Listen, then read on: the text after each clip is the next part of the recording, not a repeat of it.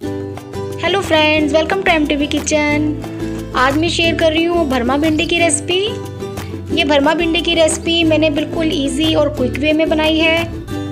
आपको बहुत पसंद आएगी, बहुत ही स्वादिष्ट सब्ज़ी रेडी होती है ये। चलिए स्टार्ट करते हैं भरमा भिंडी की रेसिपी इसके लिए मैंने ये भिंडी ली है। मैंने नॉर्मल भिंडी से छोटा साइज़ लिया है भिंडी का, आप देख सकते हैं। भरमा भिंडी की रेसिपी में यही भिंडी बेटर रहती है। ये देखिए, अब मैं इसका टॉप रिमूव कर दूँगी। और नाइफ से इसके बीच में ऐसे कट पा लूँगी ये देखिए ऐसे, क्योंकि हमने इसमें स्टफिंग भरनी है। ये देखिए ऐसे। ऐसे में सारी भिंडी के टॉप रिमूव करके इसको ऐसे कट पा लूँगी ये देखिए, सारी भिंडी मैंने रेडी कर ली है। ये देखिए, भरमा भिंडी के लिए हमारी भिंडी रेडी है। अब एक बाउल ले लेंगे। नमक डाल देंगे। हल्दी पाउडर डाल देंगे इसमें। धनिया पाउडर डाल देंगे।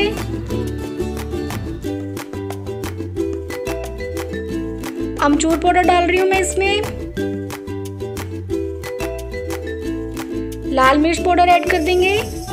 इन सब मसालों को अच्छे से मिक्स कर लेंगे। ये देखिए ऐसे।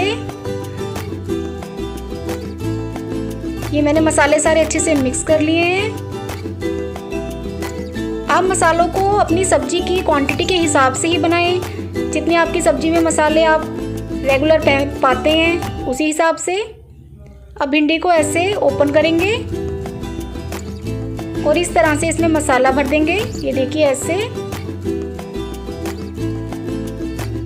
सारी भिंडी में मैं ऐसे ही मसाला भर लूँगी। बर्मा भिंडी की रेसिपी में मैं आपको बिल्कुल इजी तरीके से और स्वादिष्ट रेसिपी बना के दिखाऊँगी। आप भी इस तरह से ज़रूर ट्राई करें। ये देखिए, भिंडी मैंने रेडी कर ली है सारे मसाला भर के। ये थोड़ा सा मसाला हमारा बच गया, इसे हम सब्ज़ी में यूज़ करेंगे। कढ़ाई में मैंने सरसों का तेल लिया है। क्योंकि भरमा भिंडी की रेसिपी जो है वो सरसों के तेल से मुझे ज़्यादा पसंद है, इसलिए आप रिफाइंड ऑयल भी यूज़ कर सकते हैं। जीरा डाल दिया मैंने तेल में। अच्छे से गरम कर लेंगे इसे। थोड़ी सी मैं अजवाइन यूज़ कर रही हूँ, ये ऑप्शनल है। अनियन डाल देंगे। अनियन को मैंने फाइनली चॉप कर लिया है। अनियन को हमने भूनना नहीं है। हरी मिर्चों को मैंने स्लाइसिस में काटा है। ये भी डाल देंगे। कद्दूकस करा हुआ अदरक डाल देंगे। अब ये जो हमारा मसाला बच गया था, वो हम सारा इसमें ऐड कर देंगे। अच्छे से मिक्स कर लेंगे मसाले को। हमने अनियन को भूनना नहीं है। ये अनियन हमारा भिंडी के साथ ही भून जाएगा। अब मैंने इसमें भिंडी भी ऐड कर दी है। इसको अच्छे से मिक्स कर लेंगे। ये देखिए इस तरह से। बहुत बढ़िया भिंडी की रेसिपी रेडी होती है ये। और पाँच मिनट में रेडी हो जाती है। अब मैं इसे ढक के दो से तीन मिनट तक लो फ्लेम पे रख दूँगी। दो से तीन मिनट के बाद हम इसे थोड़ा सा स्टर कर लेंगे। ये देखिए, ऐसे भिंडी हमारी पकने लगी है, आप देख सकते हैं। भिंडी बहुत जल्दी पक जाती है। ये देखिए मिक्स करने के बाद मैं दो मिनट के लिए इसको फिर से रखूँगी ढक के ये देखिए, भिंडी हमारी अच्छे से पक चुकी है, आप देख सकते हैं। अनियन भी हमारा भून गया है। अब मैं गैस की फ्लेम को ऑफ़ कर दूँगी।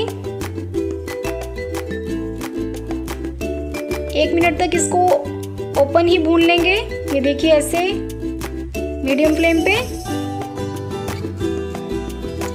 अब मैंने गैस ऑफ़ कर दी है। अब इसको हम ढक के रख देंगे। दो से तीन मिनट में ये स्टीम में और अच्छे से पक जाएगी। अब हम इसे सर्व करते हैं। ये देखिए, भिंडी पे हमारा बहुत अच्छा कलर आया, आप देख सकते हैं। ये देखिए, भरमा भिंडी की सब्ज़ी हमारी रेडी है।